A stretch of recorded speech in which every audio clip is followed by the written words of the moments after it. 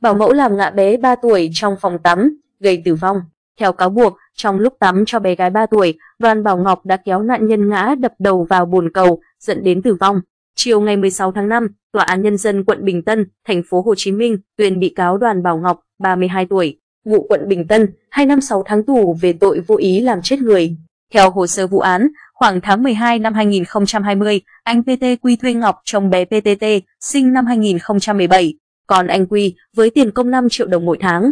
Bé T, nằn, ngủ tại nhà của Ngọc ở đường Mã Lò, phường Bình Trị Đông A, quận Bình Tân. Chiều ngày 12 tháng 1 năm 2021, bé T, tiểu tiện trong quần, không kịp vào nhà vệ sinh, Ngọc vừa tắm cho bé T, vừa la mắng nên bé đi lùi về phía sau. Ngọc cầm tay của bé T, kéo mạnh về phía trước để tắm tiếp.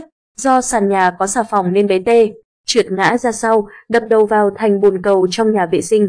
Khoảng 19 giờ cùng ngày, Ngọc thấy bé T đột ói nên trở đến phòng khám tại phường 10, quận 6. Sau khi khám, bác sĩ cho bé về và yêu cầu theo dõi trong 48 giờ. Đến 23 giờ ngày 14 tháng 1 năm 2021, bé T té xuống đệm, tím tái, khó thở nên Ngọc đưa bé đi cấp cứu tại bệnh viện. Sáng ngày 17 tháng 1 năm 2021, bé T tử vong.